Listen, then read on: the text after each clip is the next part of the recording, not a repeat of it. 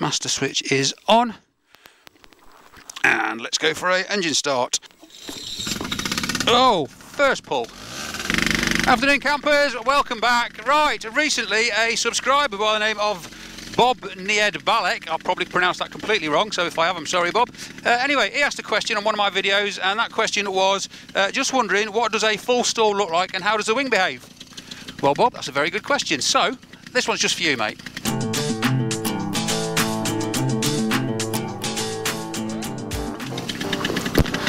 Darley traffic golf Charlie Mike Papa X-rays entering and lining up runway 01 AstroTurf, Darley Entered runway 01. I know I have. Just said that.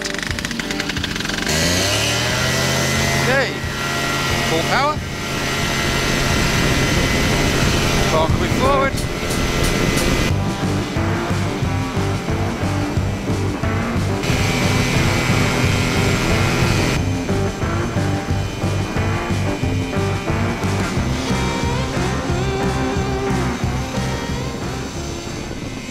Oh, I tell you, it's nice to be back up in the air. I've not flown for a while due to the weather. We do like to moan about the weather in this country. We're pretty good at it. That's generally because the weather's always rubbish. Uh, so far, bearing in mind it's supposed to be summer, June has been atrocious. I had to put the central heating on the other day. June, it's bonkers. Uh, it's probably my fault because I have taken most of the month of June off. In fact, I'm working three days in June. Uh, so there'll be the days when it doesn't rain. However, today we have got a bit of a break in the weather, so I'm making the most of it.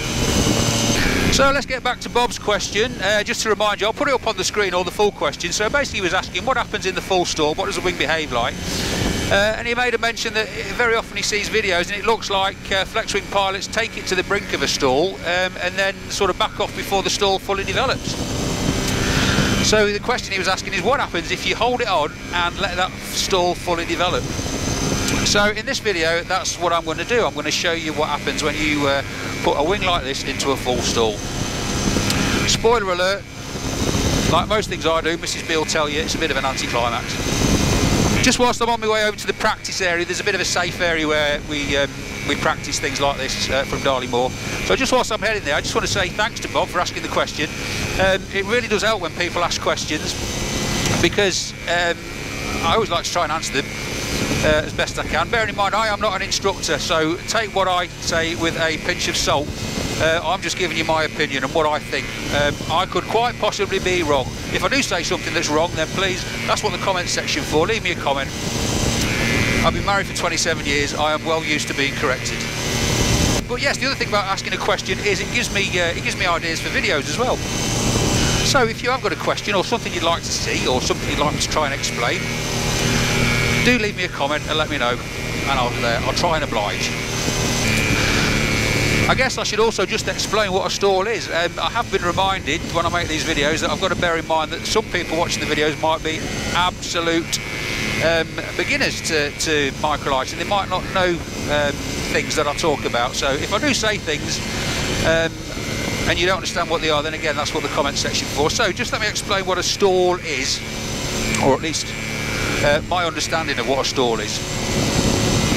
So if you slow a wing down through the air, in order for it to generate, carry on generating enough lift to keep the aircraft in the air, it has to uh, increase its angle of attack to generate more lift. Uh, which is all very well up until a point when it reaches a certain angle of attack, it's called the critical angle of attack, what happens is the air that goes over the top of that wing can no longer cling to the wing and it becomes disrupted and turbulent at that point, the wing stops generating lift, and at that point, you enter into a stall, uh, and that's when your wing starts falling out of the sky. So that's what a stall is anyway. I know that there are other types of stall. It doesn't always have to be slow flight. Before anybody says anything, you can enter a stall from um, from uh, at speed, but I won't go into that. Essentially, that's what a stall is though. It's a loss of uh, a loss of lift over the wing. Just before I do any stalls, uh, I need to do a, uh, a bit of a, a, check. We call it a HASELL check. Uh, I don't normally record checklists or film checklists because I think they're a bit boring, um, but I do do them, I can assure you. However, um, it's quite, uh, it's not often I do a HASELL check because um, I don't normally mess around too much in the sky. Um, so I thought I'd include this one just so that you know what it's all about. So the HASELL check, the H stands for height. Uh, at the moment I'm at 2,000 feet over the ground, which is more than enough height uh, for me to recover from a stall. A stands for airframe, which doesn't really um, doesn't really matter so much with this aircraft because I haven't got anything uh, as such that needs configuring. I think that's a uh, throw over from GA type stuff, so it stands for, you know, make sure you've got flaps set and trim set and all that sort of stuff. I haven't got any of that, so it's not an issue for me. Uh, S stands for security, that is an issue for me, so there's nothing loose um, that uh, can get flown about, thrown about. Uh, my helmet is done up tight, harness is done up, yes it is, so I'm all secure. Uh, HASE engine, engine is, uh, temperature is good, running like a dream. Uh, L stands for location. So are you over a suitable location? Um, I am over Great Big Fields. It's a uh, countryside type area. Camera will probably see what I'm looking at. Um, I'm not over a residential area. I've got plenty of fields as land out options should I need them, so I'm happy with the location. Uh, the last thing is a lookout and that is just, as the name suggests, have a good look round. So the way to do that is to do a 180 degree turn, make sure it's all clear.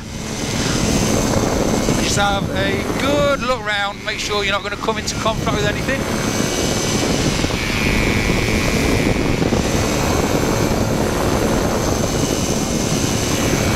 And I am happy that we're all clear. So let's get heading in a uh, direction back towards the airfield and we'll enter into a stall. So what I'm going to do for this first stall, because uh, I'm going to do a couple, uh, is I'm just going to back off the power and then I'm just going to maintain straight and level by feeding the bar forward to the point where the bar reaches the strut and it can't go further forward and see what happens. So, so there we are at the idle. That's as far forward as it's going to go. Uh, there you go, Bob. That's what happens. Nothing in a nutshell. We just sort of mush about for a bit. Uh, I am descending at 2.6 metres per second. But as you can see, there's no violent stall. There's no, you know, violent nose down action like that. Nothing. We're just descending gently. I have still got roll control as well. It's hard work mine, but I've got roll control. So that's what happens. Nothing. So I lost 300 feet there, so I'm just going to climb back up to 2,000 feet. And then we're going to try something else. Right, so there we are, back up to 2,000 feet. Um, and what I'm going to do is I'm going to try and provoke the wing into something a bit more akin to what you probably recognise to be a stall. And the way to do that is to build up a little bit of speed first, uh, and then put the aircraft into a climb with the power off, and then let it let it stall. So let's see what that looks like. So bar back, try and build up a bit of speed. There we go, and into a bit of a climb. There's the stall, power on, bar back, and into the climb. I lost 40 feet. So that's about as adventurous as I'm going to get for two reasons. Firstly, the, uh, the pilot operator handbook says that um, with this wing you should not go any more than 30 degree pitch up or down. Um, and if uh, I provoked it any more then I might exceed that. Um, the worst case scenario is you can end up with something called a whip stall, which is um, something you want to try and avoid. Uh, if I can, I'll put up a video or a bit of a clip of what a whip stall is. Uh, but essentially though, if a whip stall happens, that is a bad day at the office. You don't want that to happen. So anyway, Bob, I hope that answered your question. What does the wing behave like in a stall? In a normal stall, this really is a benign thing. It, uh, it's a non-event but it is something that's worth practicing uh, on a regular basis so you know what it feels like, you know how the aircraft behaves when you're about to go into a stall and you can do something about it. So there you go.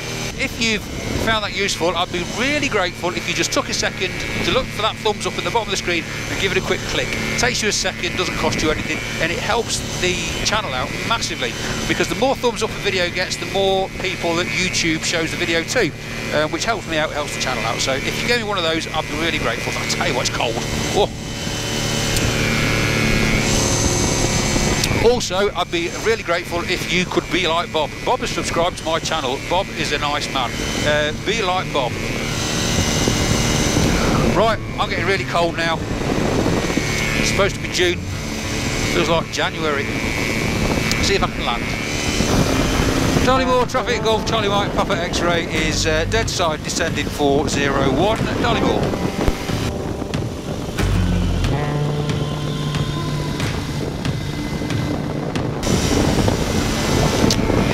Giles was right, it is bumpy down low.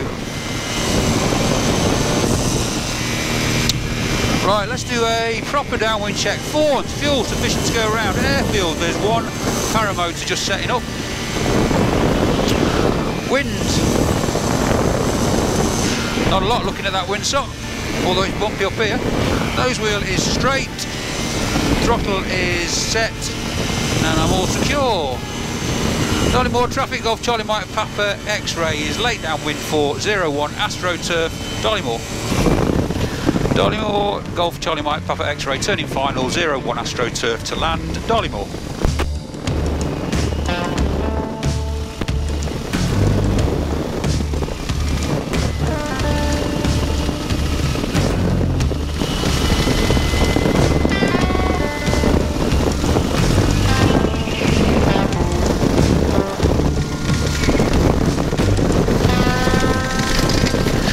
Darley Moor. word.